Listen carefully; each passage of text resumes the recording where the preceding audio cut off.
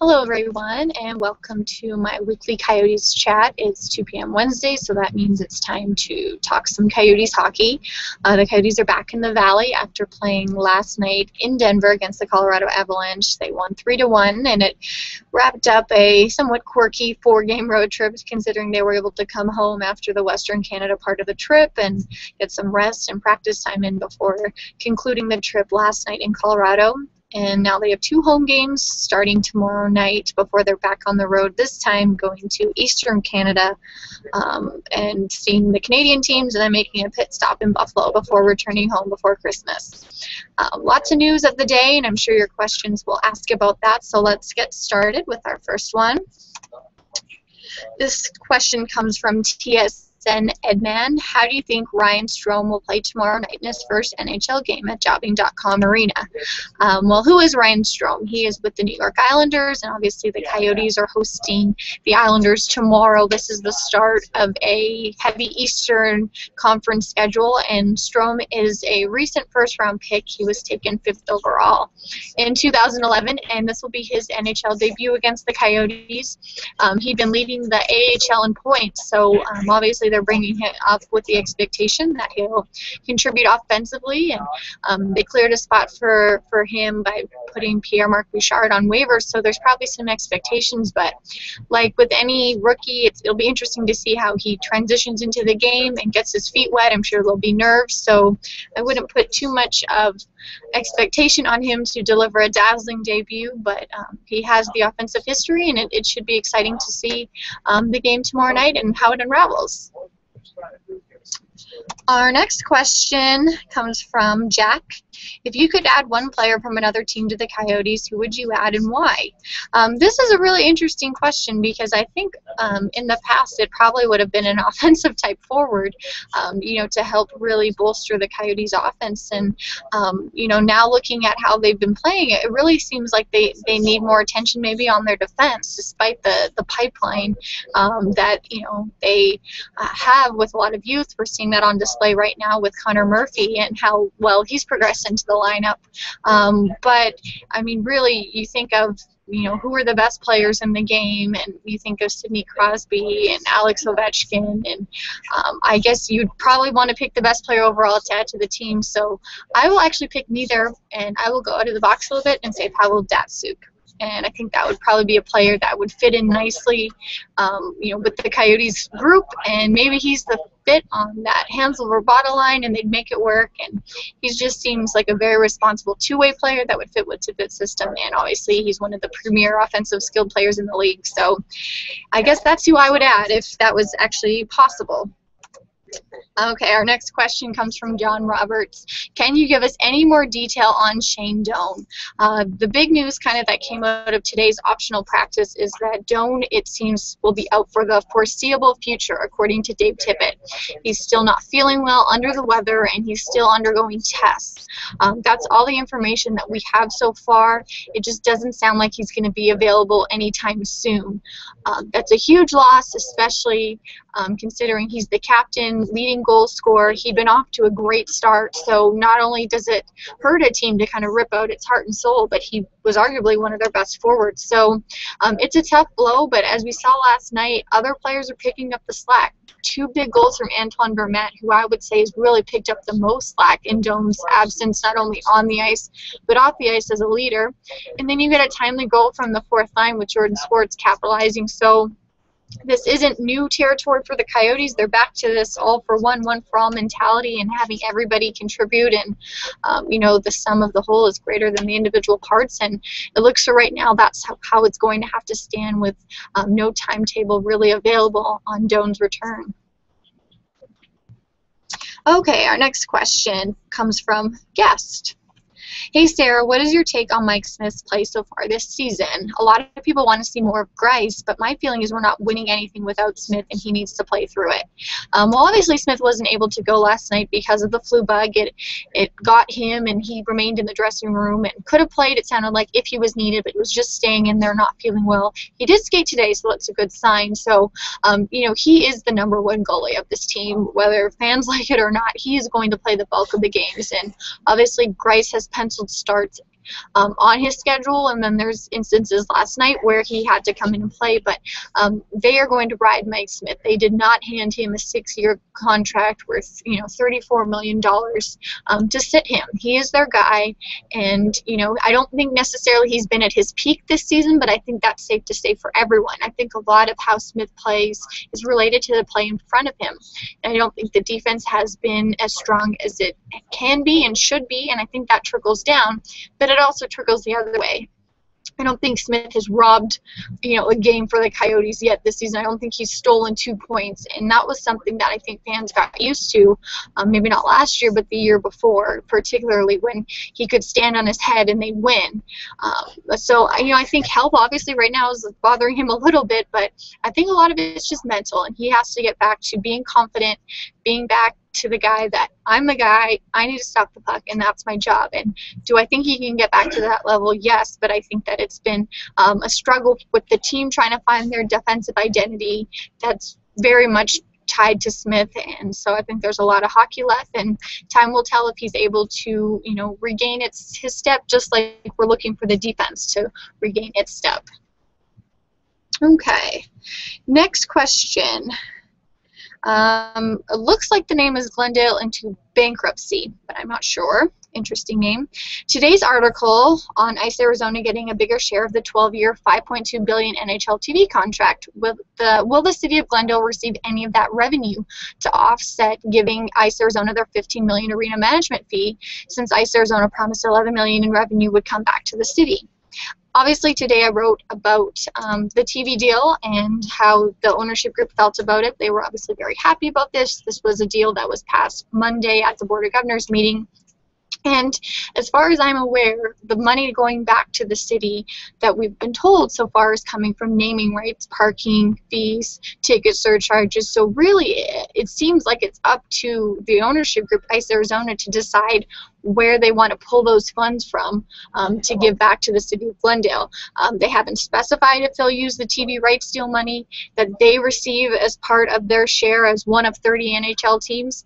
Um, obviously, the contract was coming up, but it was not talked about um, you know when this deal is getting hashed out at least publicly um, so really I think it's up to the ICE Arizona to decide where they want to pull those funds from those are some of the sources that have been publicly announced parking naming rights, tickets, whether or not they want to pull from you know the revenue they get from um, the TV rights deal. It seems like it's up to them. Maybe it's a possibility. Maybe it goes elsewhere, but um, they still have that responsibility, obviously, to to give that money, and it seems like it's up to them wherever they want to pull it from.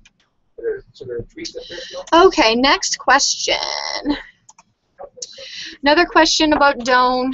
This one comes from Bob. What's the vibe around the team regarding Doan? Feels like it's something more than just a regular illness. Us fans have a bad feeling about it. Um, you know the vibe I guess has been as best as it can be. It's it's not really I guess talked about really. I mean you get hear the questions. You know you're dealing with so much adversity. You're missing so many guys. How are you you know soldiering on? But um, you know he I don't think he's been around the team. He wasn't on the road trip to Colorado. I didn't see him at the ring today, so I'm guessing he must be just trying to stay home and rest up. So um, when he's not there, it's probably easier just to kind of focus on the task at hand, the practice, the game, whatever they're focusing on. So uh, I know they missed his, you know, he leaves a big hole when he's gone, but um, you know, it, the mood has been as best as it can be. I believe, you know, they they believe that they're still very much in control of their destiny, and they're trying to get their play right. They're trying to rack up points and build off the win that they had last night in Colorado. So. I think they're just focused on the pieces that are here that they have available and, you know, trying to be positive and work through that and continue to find ways to win until Doan can rejoin them and they hope that they can continue winning with him. Okay, next question. Um, Fishbert. There was talk of New Year's Eve festivities at Westgate after the game. Any more info on that? Uh, the Coyotes are playing a New Year's Eve game um, at home. They host the Edmonton Oilers. Um, the last I heard, Westgate was still trying to um, get information about the events. It sounded like there was going to be parties at the restaurants and bars at Westgate, but it didn't seem like anything was finalized. So I would check the website and just kind of keep um, monitoring the Westgate newsfeed and what they announce. But um, it sounds like maybe individual businesses are, are offering um, specials or parties, but I don't know if there's a big um, block party plan that that Fishbert mentioned in the past. Um, Amalek wants to know, hey Sarah, I just wanted to know, is there urge for GM Don Maloney to make a move, seeing how the Coyotes are playing lately? I think there he always feels pressure to um, make this team better. He's always on the lookout, um, but you know, I, I, don't think anything's imminent. I, I, think if you know they were in a panic mode, we would have seen something by now, and you know they're not. They're very much in this hunt. They're you know in the pack of teams in the West fighting for a playoff spot.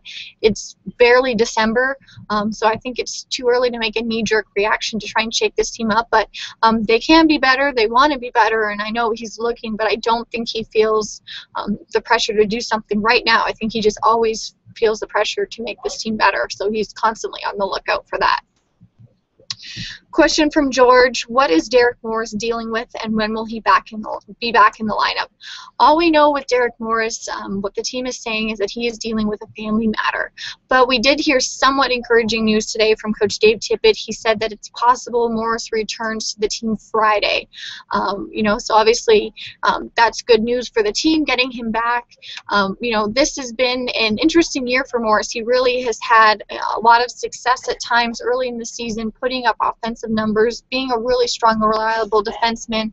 But then he's been injured, missed time, and I think coming back after, after that last injury, he struggled a little bit to kind of find his way again. So really up and down year for him, just trying to stay in the lineup. But when he has played overall, he's really cemented a valuable role for the Coyotes. Um, Kama Yote fan has a question. Will we see Klesla again this year? I, I think it's possible.